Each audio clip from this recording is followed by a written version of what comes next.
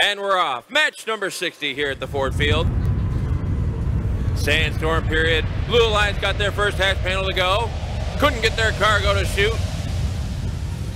Red Alliance got their cargo in. As we transition out of our Sandstorm period. Step up and drive. It's destination deep space. Red Alliance makes the first strike. Courtesy of the Sweet Bots. Piece of cargo. Brave Bots. Looking to get a second panel on their Red Rocket. Golden Gear shooting score for the Blue Lions. Meanwhile, Zoobotics putting a second hatch panel on the Blue Rocket ship. Cadillac Connectors trying to score into the mid-tier of that Blue Rocket. They shoot, they score. Meanwhile, on the red side, Macannum Knights trying to put a hatch panel on the front of the red cargo ship as the Brave Bot shoot and score for three points. Golden Gears trying to get that car to go. They bounced it in for three.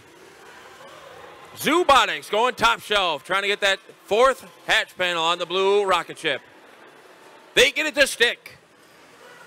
Two more hatch panels and four more cargo will give the Blue Alliance a ranking point. Brave Bot starting to fill up the bottom of the red rocket. Trying to line themselves up. They shoot, they score for the Red Alliance. Cadillac Connectors went top shelf for the Blue Alliance. All they need is three more cargo, and they'll earn a ranking point for the Blue Alliance.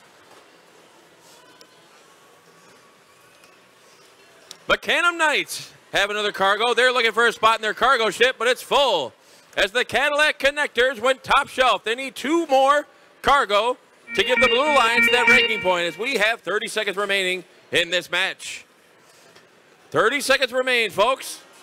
These teams are trying to get as many points as they can before the sandstorm approaches. Brave Bots going top shelf, but it, oh, it sticks in there. There's no hatch panel, but it's in there. All right, we got five seconds. Three, two, one. And time expires on match number 60. The Blue Alliance was one cargo away from getting their rocket full. But each alliance appears to have gotten a HAB ranking point. We will have to see which team will take home the two ranking points for winning this match.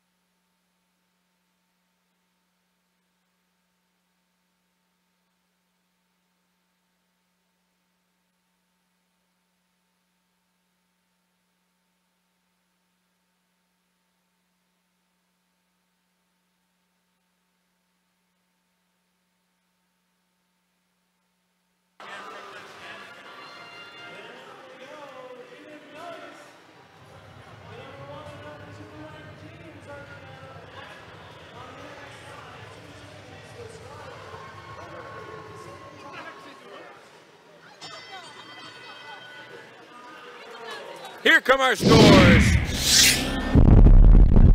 Oh, it's a tie. 94 apiece. That gives each alliance two ranking points in that match.